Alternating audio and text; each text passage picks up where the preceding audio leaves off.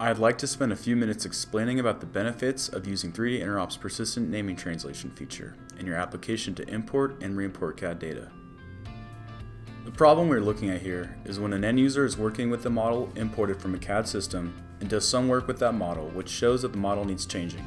Going back to the original system and modifying the model is usually pretty straightforward, but then re-importing it and repeating the steps can be both time consuming and error prone. Sometimes this process may have to be repeated several times to iterate to the correct configuration of the model.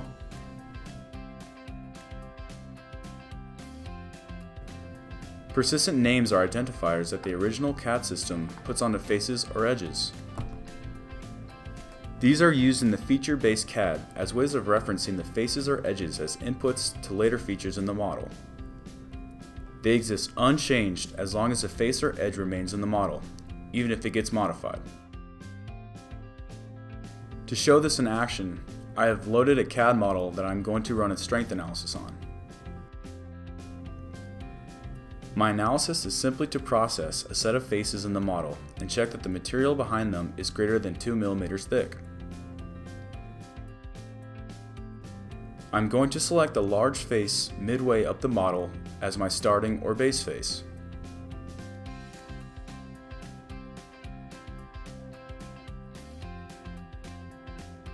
And the flat surface on the top as my end face.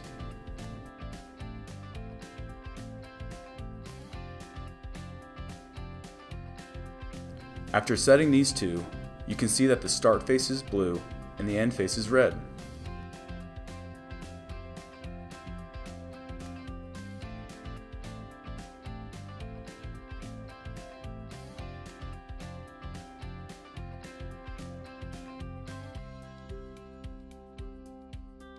The analysis finds all these faces between these two and samples them. Then at each sample point, the thickness is measured by firing a ray into the model and seeing how far away it emerges. For thickness under the 2 mm, a range of colors are assigned. Having run the analysis, we can see that the central region of the top face is too thin. To fix this, I have to go back to my original design and modify the bar on the top to go all the way.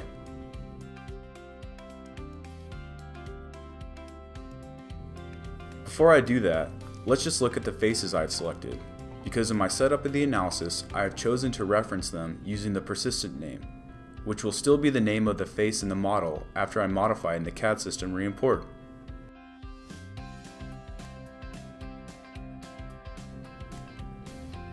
You can see the names of these two faces when I look at my analysis setup.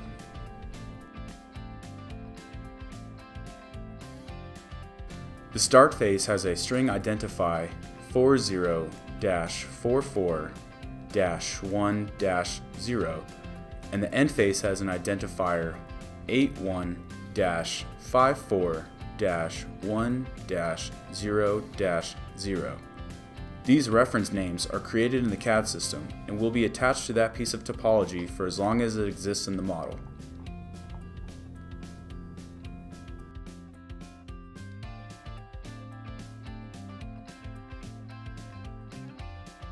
So now when I re-import the change file with the bar modified, then my application can search to the model for the faces with the names that I am using.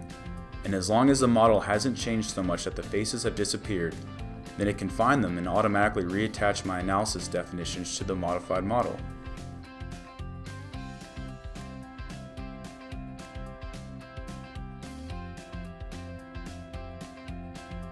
The start face still has the same ID,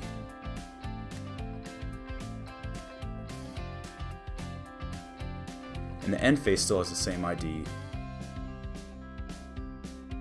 You can see that the analysis setup has automatically marked the start and end face without me having to reassign them, and that these two faces still have the original persistent names.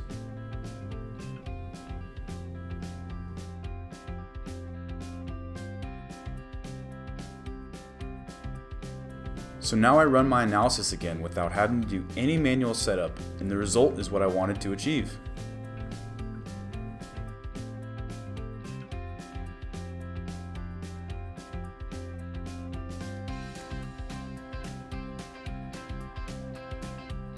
Just to prove a point, I made some pretty big changes to the model and re-imported it. You can see the model has changed significantly, but my analysis setup was done automatically as the start and end phase still exists in the model.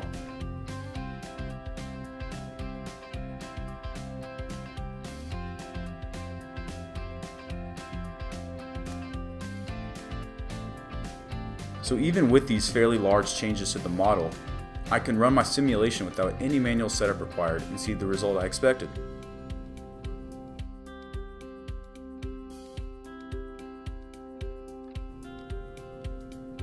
This mechanism may be applied in other workflows such as calculating toolpaths for machining or measurement machines. Often the design will change and the software has to be rerun with the new model. My example was a very basic simulation.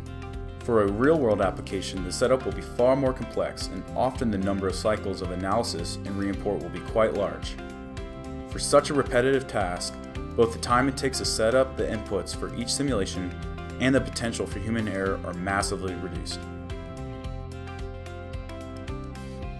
There is therefore a huge potential cost saving to end users of any application using this simple referencing mechanism. Available Spatial's 3D InterOp Translator. For more information about Spatial's software development toolkits, visit www.spatial.com.